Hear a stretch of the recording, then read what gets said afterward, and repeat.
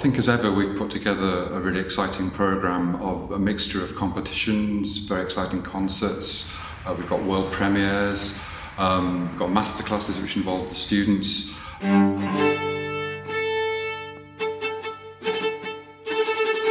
Also, we've got uh, one of our quartets in residence, the Carducci string quartet, playing.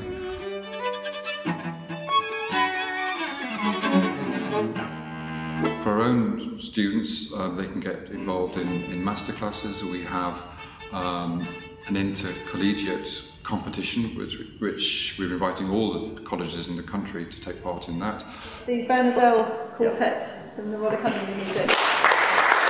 I think it's, it's a very exciting three days.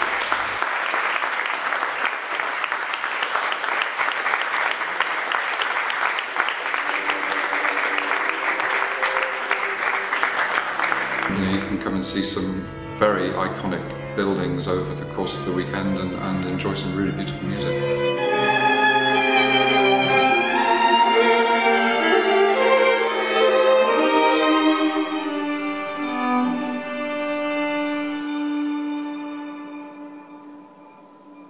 Brilliant. I love it. It's really effective the way you drop everyone out and and then it disperses at the end. well, this festival we've tried to involve students even more heavily than we have in previous festivals. So we have a whole day of masterclasses at the beginning with Chamber Studio coming in and our own coaches and our quartet in residence, the Carducci Quartet. And then after that we have the Carducci Quartet giving masterclasses also to Junior Trinity, so involving the kids from the age of four, I think, upwards in uh, string chamber music and in the string quartet. That was fantastic.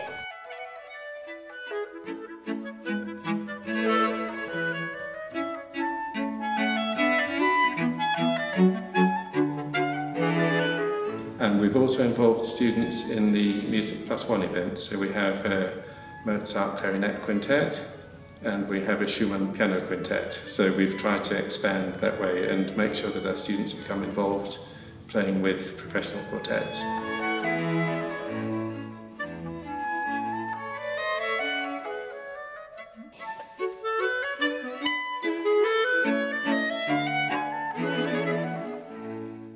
We like to always have something new and different and exciting to show our very forward-looking and the fact that we're open to adventure and experiment.